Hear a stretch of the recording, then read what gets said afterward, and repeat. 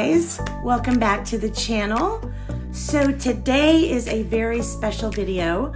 We are going to be trying out some product.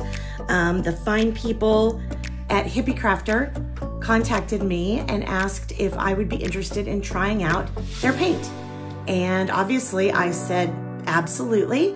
So they sent me a 20 bottle set of some really, really nice colors. You can see them there. And I will turn this around. You can pause the video later if you want to um, take a look at all the colors that are in here.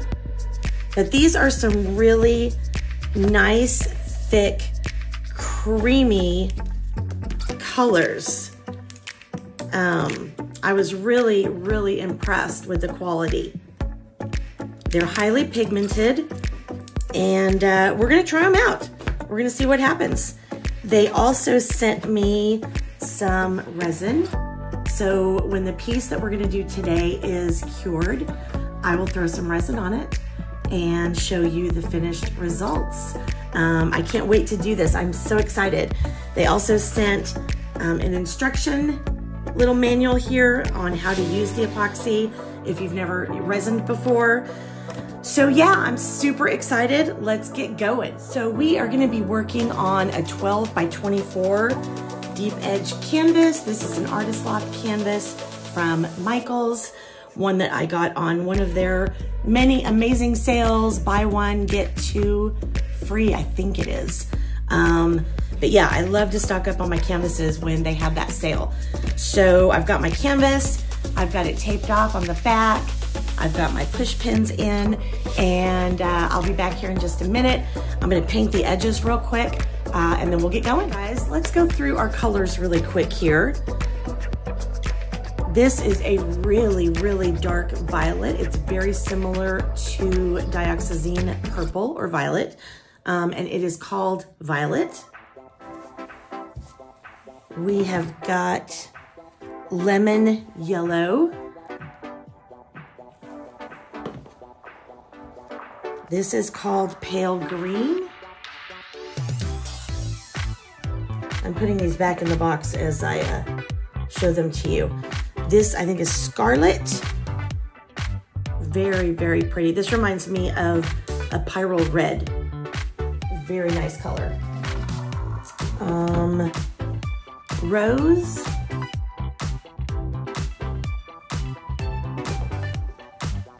Orange Yellow.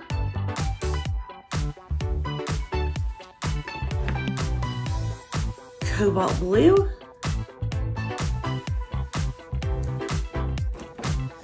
This is a uh, black, um, now I can't think of the word, flow extender that I made with Mars Black. And I'm using their titanium white, and I added some white satin enamel to it as well. Now these two last colors, um, I wanted the set that they sent me doesn't have any metallics in it, so I wanted a couple metallics. One of them uh, is purple, and I made this with uh, DecoArt Sterling Silver, Deep Sapphire, and some Vivid Intense Quinacridone Red to get that purple. And then we have um, Soho Gold. So those are the colors we're gonna be using. Let's get the canvas up here. Here's how I mixed my paints today.